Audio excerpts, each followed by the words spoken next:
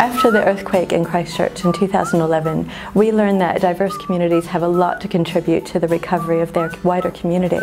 We also know that there were many diverse community members who did not get really key important messages such as boil your water, don't bathe in the river, and how to get tsunami alerts after all of the aftershocks. Um, so we've been working hard at Red Cross with Civil Defence to try to overcome this language barrier. We partnered with 45 volunteers from the community who um, produced 15 language translations of the local Wellington Earthquake Guide. Um, from that, we've also been working on emergency message translations so that if there's an event anywhere in New Zealand, we'll be able to provide key messages right away in all of these languages.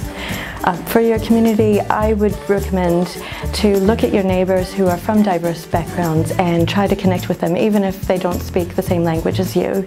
Um, a smile goes a long way and sharing food if you can do that goes even further way to connect with your neighbours.